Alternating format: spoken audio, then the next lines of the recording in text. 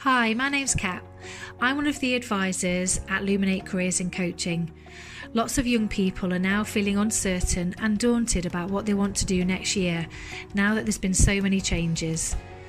Some of you will have made your post 16 applications and option choices quite a while ago, and you might now be thinking about whether it's still the right choice for you. We're here to reassure you that there are options, things can change, and to answer some questions that you might have.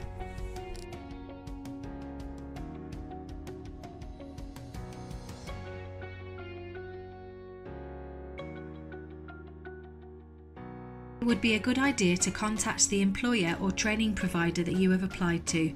They will let you know whether your apprenticeship can still go ahead. You also need to think about a backup plan. Have you made one? It may be that you can apply to a local college to study a similar sector area and then apply for apprenticeships again once you have done this. Remember, apprenticeships are for anyone over the age of 16. There'll be some videos on this channel about apprenticeships over the next few weeks. It would be worthwhile speaking to your sixth form to see what their policy is and find out a bit more about how they are awarding GCSE results this year. Youth Employment has some really good articles about this on their website. You do also want to think about a backup plan. Have a listen to the video on this channel called What Next, as this explains all about the different options. You can then apply to the most appropriate option as a backup plan. You will then decide in August, once you have had your results, which option is the best for you. Think back to why you made the decision to apply to college in the first place. More than likely, you made the decision based on your future plans and the suitability of the courses that were on offer at sixth form and at college. Those thoughts and that decision making process will still apply now. It could be that your time at school ended so quickly and abruptly, and it really wasn't what you hoped and imagined, and maybe that's what's thrown you. Have a talk with somebody about how you chose your course at college initially what were your reasons for choosing that course and that college? Where did your ideas come from? Perhaps write down what's making you think that college isn't for you now. Why did you decide against sixth form in the first place? Have you talked to anyone about all of these thoughts and feelings? What do they say? If college took away their offer, how would that make you feel? Try to remember why you made the decision in the first place to apply for college if the college that you have applied for has any virtual open evenings or open days, book yourself onto one of those. It could be a good chance to remember why you applied in the first place. Similar to the last slide, think back to the reasons why you applied in the first place. Do those reasons still stand, or have you changed your mind about your longer term plans? Think about what you would want to do instead, what are the reasons you now want to change course? What has changed your mind? If you do still want to change, then you need to contact your school or college, the one that you've applied to, and find out what the process is for changing your course. It could be that you need to speak to the head of sixth, sixth form or student services. The disruption and changes to how university will deliver their courses may feel disappointing and really not what you were looking forward to. You do have the option to defer going to university until next year when hopefully things are back to normal. There are two ways you can do this. Make your application this year, but apply as a deferred entrant.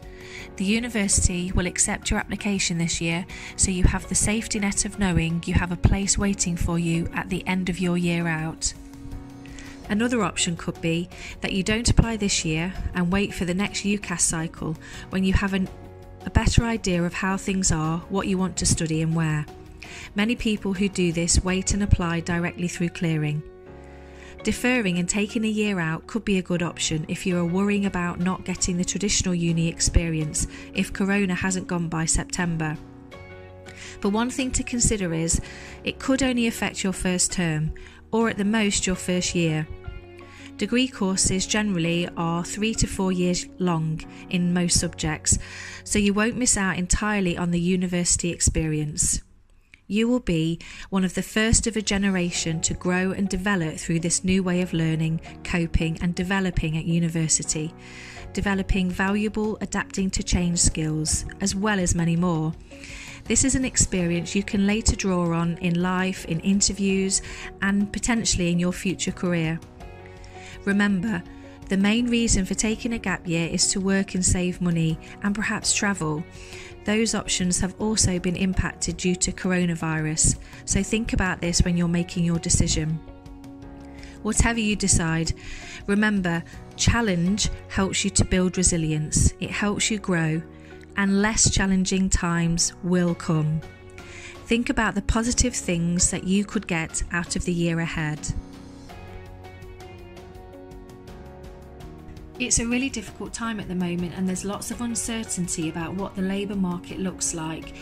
This obviously impacts on what work experience you can get too. Fortunately, there are lots of options to try and gain some virtual work experience, not just in medicine, but many other areas. The Oak National Academy have run a virtual week of work experience giving information on lots of different areas. The Brighton and Sussex Med- Medical School also have a virtual work experience programme that you can sign up to. If you're interested in specific area, then you could also see if there are there are any volunteering opportunities, as this could be classed as gaining work experience. So check out what options there are in your area. It's also a good idea to contact the university that you're thinking about applying to, see what their policy is and if they can re- recommend anything. Again, it's a really difficult time to be looking for employment as there is so much uncertainty about the labour market. We know that a lot of jobs that young people typically go for have been reduced due to closures within the hospitality and retail industry. Raising the participation age means that you must continue in education or training until you're 18. So that's either school sixth form, college, or a learning provider work based learning such as an apprenticeship or a traineeship. If you have an offer from college or sixth form, what you might want to do is explore apprenticeship vacancies if earning money is a high priority for you now. Apprenticeships are where you will gain a qualification while working. You will spend 80% of the working week in employment and 20% at your place of study. You'll earn a salary and your course fees will be covered by your employer and government. If your family receive child benefit and or other benefits, these will continue if you stay in education or training. You could also look at working part-time alongside your sixth form or college course um, and through the holidays, so that's weekends and holidays. What you could do is spend your time putting together a CV and a cover letter so that when the time comes, you are ready to apply for part time jobs. Gaining further education and qualifications will also improve your employability for the future. The 16 to 19 Bursary Fund provides financial support to students to help them overcome specific barriers to participation so that they can remain in education. Student services at college or your or sixth form should be able to offer you advice and support with checking eligibility and how to apply. That also includes free school meals within further education. I hope this video answers some of your questions. Remember, your path is not set in stone and there are people out there who can support you. Over the next few weeks, there will be many more videos on post 16 and post 18 opportunities. If you do have any questions, you can contact us on the email address on the screen or visit our website for more information and helpful resources. Good luck!